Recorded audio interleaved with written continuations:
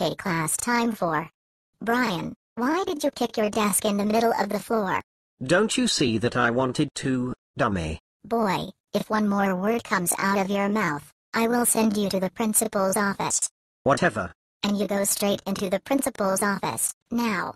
So, what brings you here? Stupid head. I talked back to the teacher. Didn't you know? She is supposed to call you.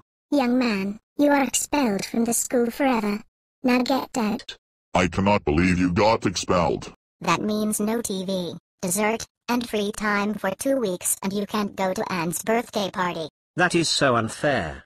Now go upstairs to your room, young man. Now. I'm calling the principal and telling Brian to talk to her. Talk to your principal now. Hello Mrs. Shell, I'm sorry for talking back to you, and tell Miss Lee I'm sorry too. It's okay Brian, you are not expelled anymore but this is your last chance. Goodbye. She said it's okay, I'm not expelled anymore. You're not grounded anymore. And you can go to Anne's party. Yeah.